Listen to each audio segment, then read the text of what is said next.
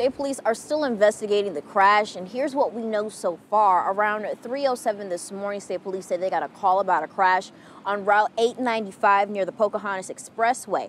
Police say initially one vehicle had a single car crash, veering off the roadway and then coming back onto it, hitting a guardrail and finishing off in that crash, uh, becoming perpendicular to the left lane. Now, uh, two other vehicles stopped to help that vehicle.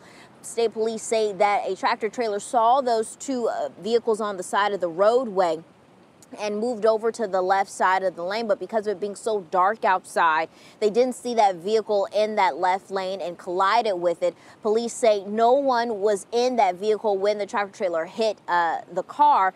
But as a precaution, the two occupants that were in that single car crash, a male driver and a female passenger, they were taken to the hospital. Those lanes were opened back up. Uh, right after we had spoken to you all earlier this morning. Again, state police are still investigating. And as you all are commuting this morning, just be very careful and mindful of your surroundings. Working for you, Gabrielle Harmon, CBS 6 News.